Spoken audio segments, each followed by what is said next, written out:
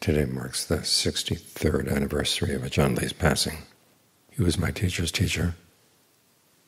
And in getting to know Ajaan Fuang, I also got to know Ajaan Lee through Ajaan Fuang's eyes, and of course through the books that Ajaan Lee left behind.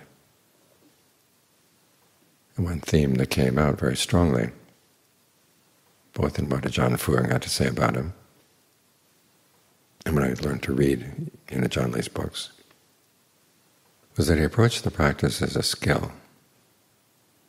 I think more than any of the Forest Ajaans or any other contemporary teacher. That was his main focus.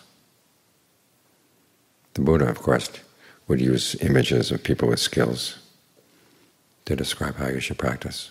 Like being an archer, the Buddha would say, you learn how to fire shots in rapid succession, shoot long distances, and pierce great masses firing shots in rapid succession meant seeing things in terms of the Four Noble Truths, identifying very quickly what you're doing that's suffering, what you're doing that's causing the suffering, and what you could do to put an end to that cause. Shooting long distances is seeing the implications of teachings. You look at your aggregates in the present moment.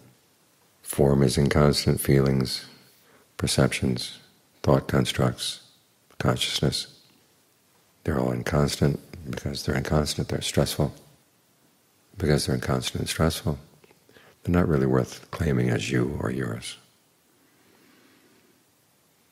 You see this in the present moment, and then you reflect. Back in the past, did you ever have a permanent form or permanent feeling? No. How about the future? Oftentimes the mind will think about how it doesn't like being where it is right now, but if you could change things a little bit, things would get a lot better. But no matter how much better you can make the aggregates, you can never change them from their inconstancy, their stress, and the fact that they're not self. When you think in those ways, you get a more global sense of dispassion. Even Samvega. Of course, piercing great masses is piercing the mass of ignorance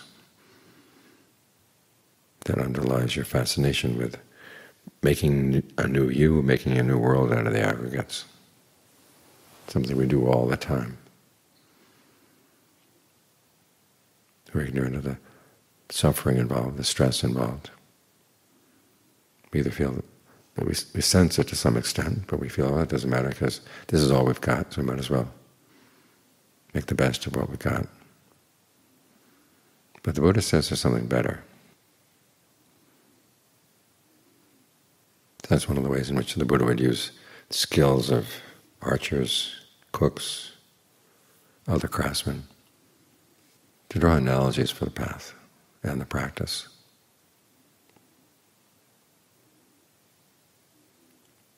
Ajaan Lee would take the analogies of you know, skills, use it in another way, talking about what is, is involved in actually mastering a skill. You learn from the teacher the basic steps. But if you're going to, say, become a really good basket weaver, or get really good at making clay tiles, you don't learn just from the teacher, you learn from your own actions and from the object you're acting on. You commit yourself to trying it out, making clay tiles and firing them, and see how they come out. Or you weave a basket and see how it comes out. And you see, okay, the basket is lopsided or it's poorly proportioned, the clay tiles are brittle. What could you do to change? This means that you have to be alert to what you're doing while you're doing it, and also learn to be sensitive to the object you're working on, because you're going to be taking that, as he said, as your teacher too. All this, of course, applies to the breath. Try to be sensitive to the breathing.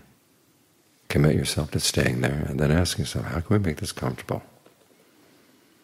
So you try it out. And if it's not comfortable, then you ask yourself, what can you do to change?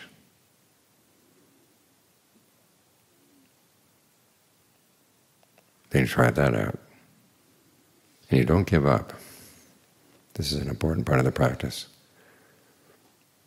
Don't let yourself get defeated by the fact that you can't master it quickly. Our educational system places a huge emphasis on trying to figure out what you're already talented in, what your natural talents are, and then directing you in that direction. They're very poor at teaching you how to master a skill that you may not be originally good at.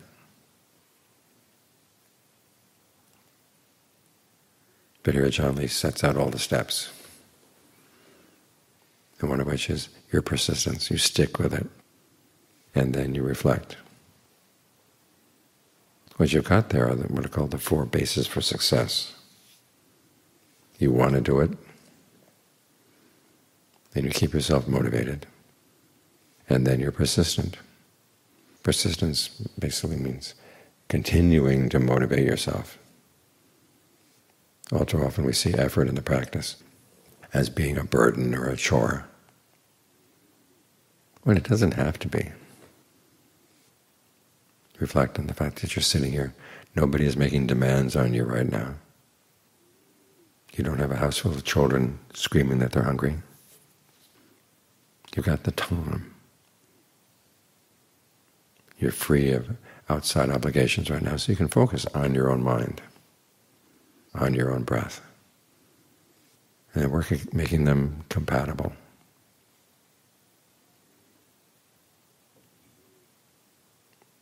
So you keep reminding yourself that this is a good thing to do. And then you start trying to notice when you're doing it well and when you're not doing it well, and when you're not doing it well, figuring out what you can do to make it better. This brings in two other qualities. One is intentness, which means you give this your full attention. the breath is something you've been aware of for a long time, but have you ever been fully aware of the breath? What are these breath energies in the body? Ajaan Lee talks about many different levels. There's the in and out breath, and then there are the subtle sensations of movement in the blood vessels and the nerves. And then there's the still breath, which is related often to points that we otherwise know as the chakras. The breath can be very still. You focus there, and you can think of that stillness spreading throughout, permeating throughout the whole body. So you've got lots of different levels you can focus on. Ajaan Lee himself provides many different ways of analyzing breath energies. The breath energies that spin in place, the ones that move in and out, the ones that go from one part of the body to another, all kinds of breath energies. The ones that move, what direction should they move right now? You can play.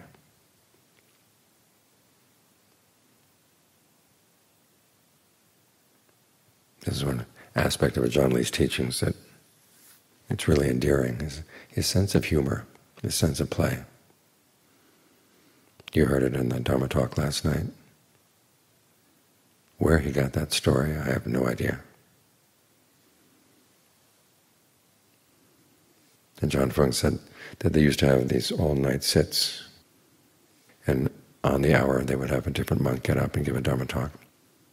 And he could talk for just a few minutes, he could talk for a whole hour, it's up to him. Ajaan Lee would always keep the 3 a.m. shift for himself, the point where everybody's really sleepy. And he would tell stories like that, keep everybody awake.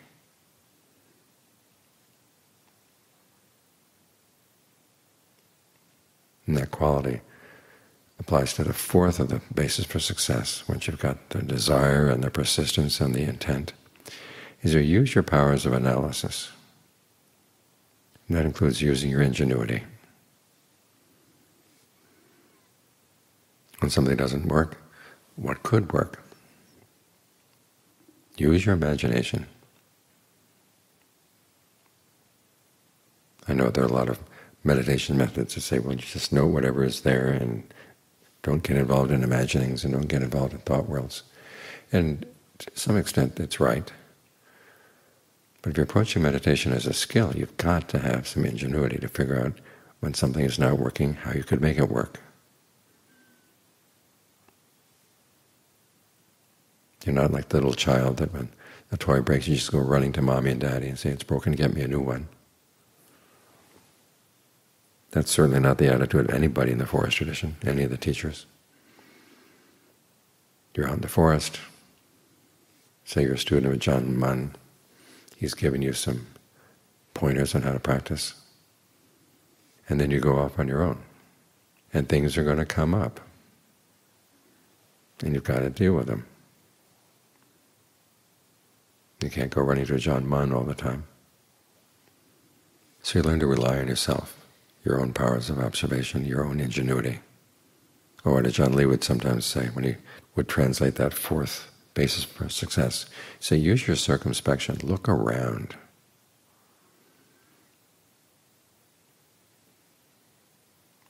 Try to figure out good analogies for what you're doing and ask yourself, am I applying the wrong analogy? Is there a better one to apply? Sometimes we think of breathing as like a bellows. You force the air in and out a little tiny hole. There's a lot of pressure involved. Well, think of there being no pressure at all in the breathing. The breath can still come in, still go out, but you don't have to push it, you don't have to suck it in. Think of breath, breathing, breath. Come up with a new image and see what that does. Ajaan Lee talks about breath energy coming in the back of the neck, for example. What can you do with that idea? It helps to counteract the tendency we sometimes have of pulling the breath in, sort of pulling at our facial muscles. And tension will build up in the back of the head, back of the neck. Well, think of the breath coming in the other direction. Or any point in the body where there's a pain. Think of the breath entering the body right at that point, spreading from that point. See what that does. There's lots to play with.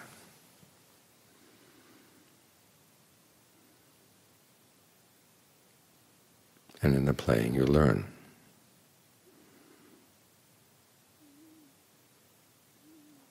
I know an author who basically said scientists are like adults who get to still play around like little kids do.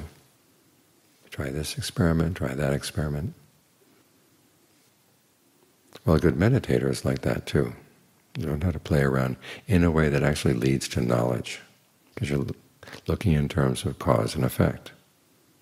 And that's what this sermon is all about. You want to see what's causing suffering in your mind? Well, you change your mind. Change your ways of thinking. See what that does. Change them again if it's not working. It's in this way that meditation becomes a skill. You commit yourself to it, and then you reflect on what you're doing. Learn from your actions. Learn from the breath. And that way the meditation becomes your own.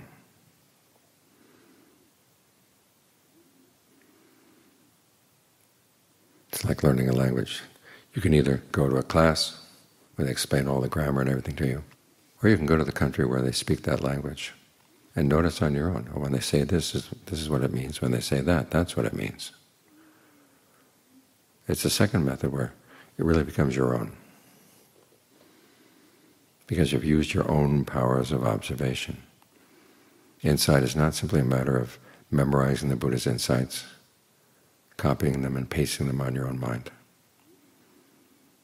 The insights come from your own observation of what works and what doesn't work, and reducing the amount of suffering that you're creating.